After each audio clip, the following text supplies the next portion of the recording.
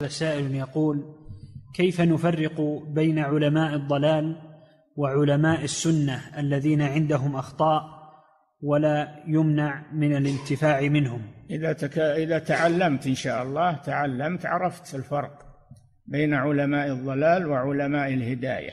تعلم أول شيء. نعم.